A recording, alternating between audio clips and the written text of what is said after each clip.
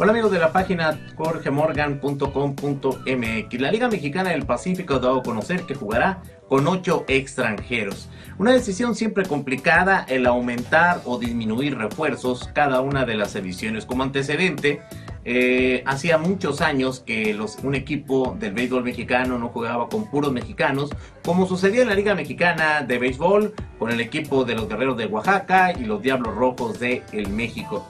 Por supuesto que el resultado no dio positivo, porque estos dos equipos no tuvieron la actuación que se esperaba de ellos, sin embargo el intento es bueno. También sabemos que el béisbol es espectáculo y bajo ese tenor la Liga Mexicana de Béisbol, pienso, decidió llevar a 8 la cantidad de extranjeros, no necesariamente norteamericanos, como sucedía en antaño.